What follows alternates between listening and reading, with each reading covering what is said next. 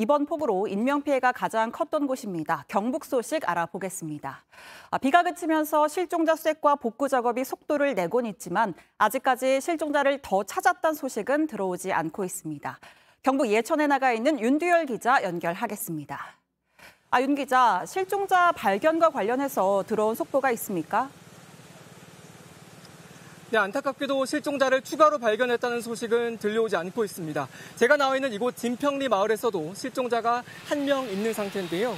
부부 중 남편이 부상을 입고 병원으로 옮겨져 치료를 받다가 어제 숨졌고 그 아내를 아직 찾지 못하고 있습니다. 어제 예천에서 부상자 한 명이 숨지고 또 실종됐던 한 명을 한 명이 숨진 채 발견되면서 이곳 예천에서만 아홉 명이 숨졌습니다. 봉화와 영주, 문경 등 경북 전체에서 19명이 숨지고 8명을 아직 찾지 못하고 있습니다. 아, 그렇군요. 실종자 가족들은 애가 탈 것 같습니다. 수색 작업이 속도를 내기도 쉽지 않다고요. 네, 실종자 8명 중에 4명은 토사가 유출되면서 또 4명은 물에 휩쓸린 걸로 보고 있습니다. 이곳 진평리는 토사 유출로 실종자가 발생한 곳인데요. 뒤를 보시면 흙과 나무, 그리고 부서진 창고와 집, 자동차 등이 산사태 휩쓸리면서 가득 쌓여 있습니다. 제 키보다 높습니다. 이런 곳이 1km 위까지 가득합니다. 하나하나 파보고 조심스레 들여다봐야 합니다. 물에 휩쓸린 것으로 추정되는 실종자를 찾는 작업도 어렵긴 마찬가지입니다. 이곳에서 차로 30분가량 떨어진 은산리에서는 갑자기 도로가 꺼지면서 차량 두 대가 하천으로 빠졌는데요. 세 명이 실종됐습니다.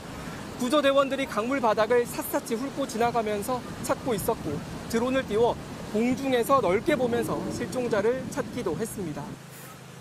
네, 지금 윤 기자 뒤를 보면 흐리긴 해도 비는 오지 않고 있는 것 같은데요. 복구 작업은 어떻게 진행되고 있습니까?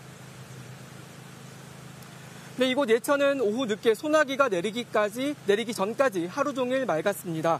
군인과 자원봉사자 그리고 주민들이 힘을 모아서 복구 작업에 속도를 냈습니다.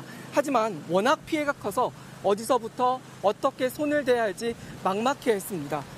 그리고 지난 밤 사이엔 비가 더 내리면서 하룻밤 사이에 도로나 제방 등 공공시설이 유실됐다는 신고가 52건이 더 들어왔습니다.